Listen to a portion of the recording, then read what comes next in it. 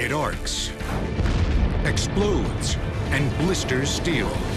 It's used to make 50% of all products. And it puts the power to build a skyscraper in a man's hands. By friction or robot, even underwater. These are the tools that the world can't live without. Now, welding on Modern Marvels.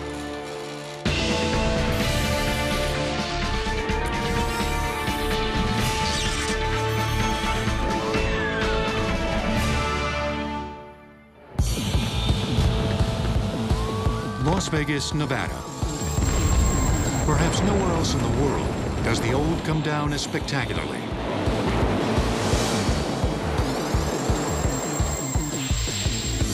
And the new rise up as quickly. Right now, you're in the east wing the new Palazzo Hotel. We're on the 38th floor.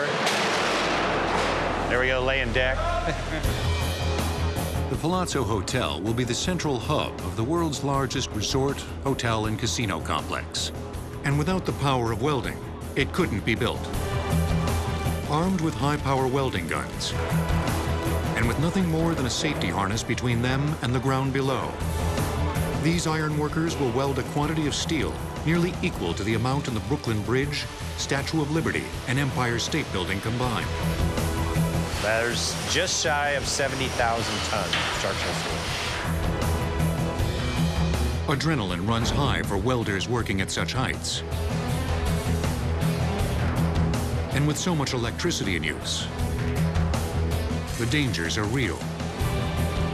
This particular machine runs on 483 phase. It's fed with 200 amps at 480. If you make a mistake, you're not here tomorrow. It's almost instantaneous death.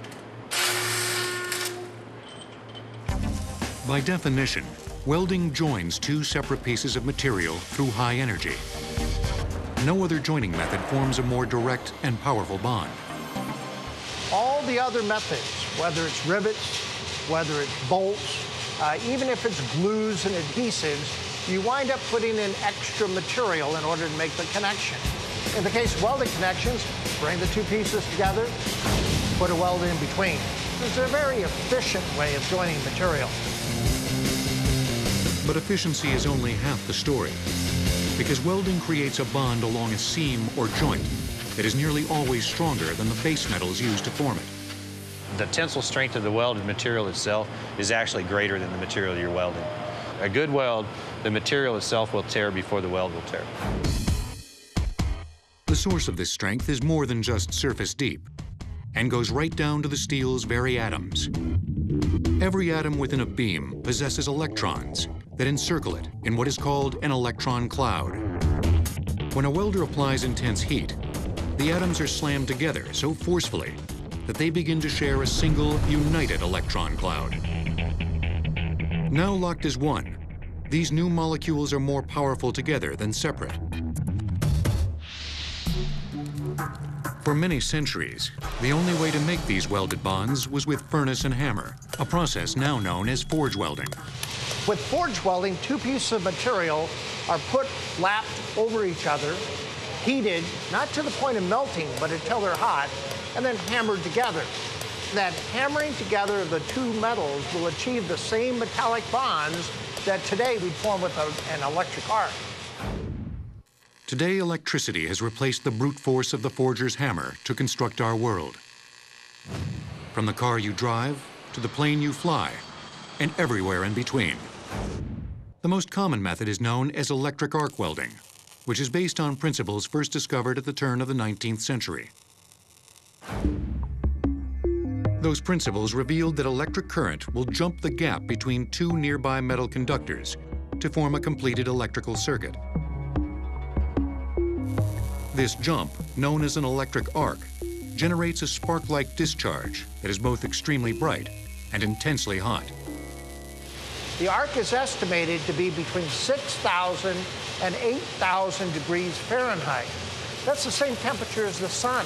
Steel melts in and around 3,000 degrees, so this 6 to 8,000 degree arc is more than ample uh, heat to melt the steel that we're joining.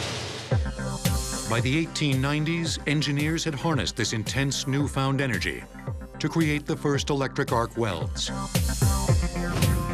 A work lead or ground was attached to one corner of the metal to be welded. Electric current then flowed from a generator through a long conductive metal stick, known as an electrode.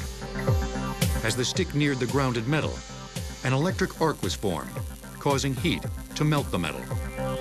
The apparatus was crude, but the basics were sound and are now reflected in the simplest arc welding form in use today, stick welding. The basics of the process are you have an electrode holder, you have a cable that runs back to the machine to pick up the welding current, and you place the bare end of the electrode in the holder, and it picks up electrical contact there, conducts current down to the end of the electrode, which is bare. The technique is touching the electrode against the work and then moving it far enough away to establish an arc, but not so far it goes out. And if you leave it too close, it'll stick. You pull away too far, it'll go out. So the trick is to get your, get your bounce where it's just about right.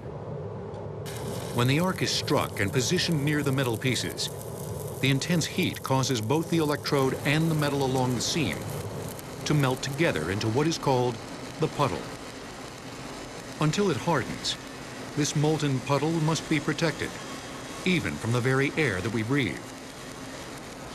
The air we breathe is about 80% nitrogen and about 19% oxygen. It's really good for breathing, but it's not good for liquid metal. And just like we dissolve sugar in hot coffee, these gases dissolve in liquid metal. When the metal solidifies, the gas percolates out, and that makes holes in the welds. The dangerous result could be a weak, even brittle weld. So to shield the puddle, a chemical coating is applied to the electrode. As it melts under the heat of the arc, this chemical coating dissolves into shielding gases that envelop and protect the weld, keeping it free of air. This is known as shielded metal arc welding. And as the technology evolved, the coating took on even greater significance. The chemical coating has three functions. Some of the coating forms shielding gases at the heat of the arc to protect the weld from the atmosphere. Some of the chemicals at the heat of that arc form a liquid, slag, which protects the welds as the shielding gases move along. And some of the elements are alloyed into the deposit to make it a high-strength deposit.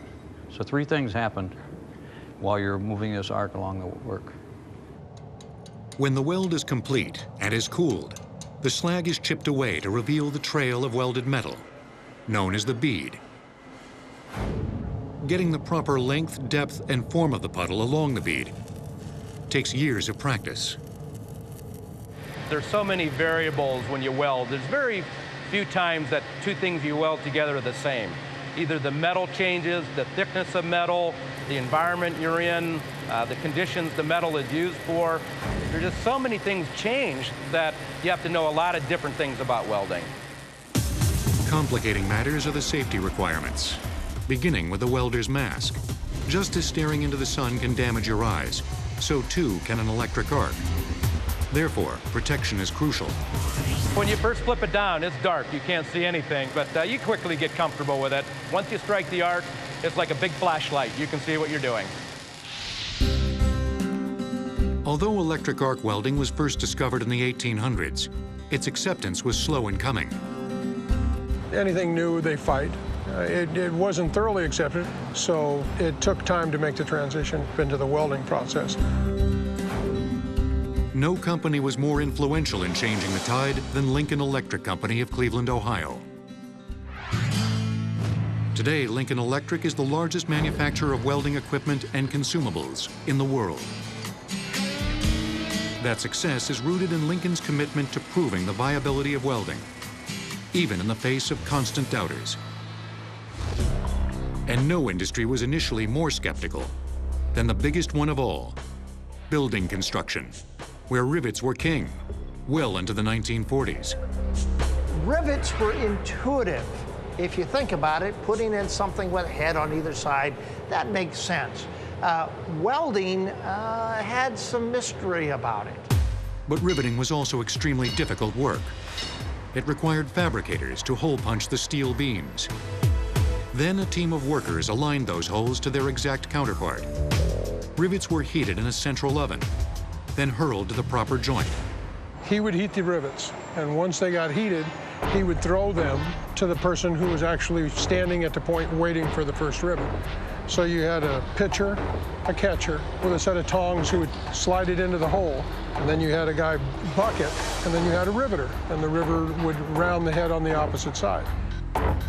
Significantly, rivets limited the design options for architects and building engineers. A lot of very famous and, and beautiful work is done with rivets. But basically, you're building a box with a design to the inside of the box. You can only carry so much shear on that connection. In 1928, Lincoln Electric joined with a local architectural firm to erect the first commercial building wholly constructed from arc-welded steel. In the Upper Carnegie Building, the typical dense network of riveted steel was replaced by a series of continuously welded beams that ran the entire length and height of the building. Not only did welding free up space, but these continuous beams carried even greater loads and stresses than their riveted counterparts. Connections are always the weak point in a structure. Connecting things together is always a challenge. But welding changed all that. Literally, if you could get the material in the configuration you wanted it, there was a way to weld it together. Today, skyscrapers come in many shapes and sizes, in large part because continuous beams can be fabricated and welded into curves and unique angles. To construct these beams, welders will make 30 to 40 passes on the crucial joints, using Lincoln Electric's latest flux core welding technology. Here, the traditional stick electrode has been replaced by wire on a roll that feeds directly into the welder's gun. The chemical flux that protects the weld from the air is now contained within the wire itself and melts just as before. There's approximately 90 tons of weld wire will be used and consumed in this project alone. That's somewhere around 180 million inches or 2,800 miles of weld wire. You could stretch a single wire from LA to New York and have leftover. On the largest beams, which can weigh as much as 900 pounds per linear foot, a team of welders can work on a single weld for hours. The columns that we're looking at right now are basically supporting the entire east wing of this tower. Originally, these pieces were so long, the capacity of the cranes would not pick them up and set them. So we had to cut them down, make them lighter, so the crane could set them. And the engineers wouldn't allow us to make that a bolted splice. It had to become a welded splice. It's about a 30-hour weld. I believe we had two guys working on that simultaneously for 30 hours of welding.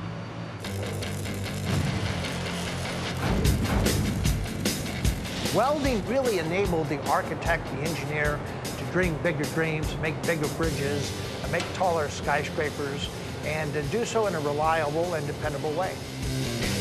But at the end of the day, those big dreams are only as solid as the ironworkers who weld them together.